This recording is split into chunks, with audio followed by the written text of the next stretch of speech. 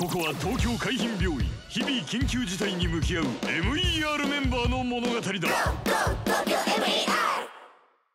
北見チーフ。あ、お父先生。今お手すきですよね今どこをどう見てそう思えたんですか？お手すきのように見えた最も取り込み中です。ちょっとお伺いしたいことが。がありましいえてだから。北見チーフは海外にいた時ずっと英語でコミュニケーションを取られていたんですよねええそうですね。まあええ私もこの後え実はアメリカのドクターにプレゼンをする機会がありましてお父先生。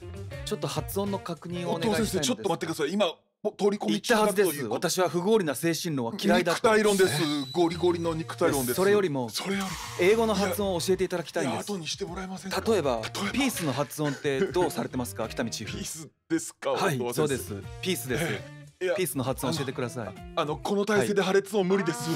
破裂音って何ですか？破裂音は破裂音です。スパ行などです。そこをなんとかお願いしますいや破裂音は無理ですピー。スの発音。あ後にしてください。もし難しければパイナップルの発音でもいいそれも破裂音です。立派な破裂音です。教えてください。プレゼンにパイナップルって出てくるん出です。てくるわけないでしょ。じゃあなんで聞くんですか今。わかりました。じゃあみちょぱで。英語じゃないもうそれは英語じゃない。パパ活とかでもいい。笑わせないでください。何を言ってる笑わせるのは教えてください。笑わせるのは後にしてください。後で笑わせてください。何を言ってるんですか？わかりました。じゃあもう全部はいい。もう一つにまとめますなんなんですか？パパ活をプッシュしてくるプリンセスみちょぱって言ってください。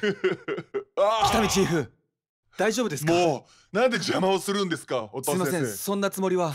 筋がめちゃくちゃ割れましたよ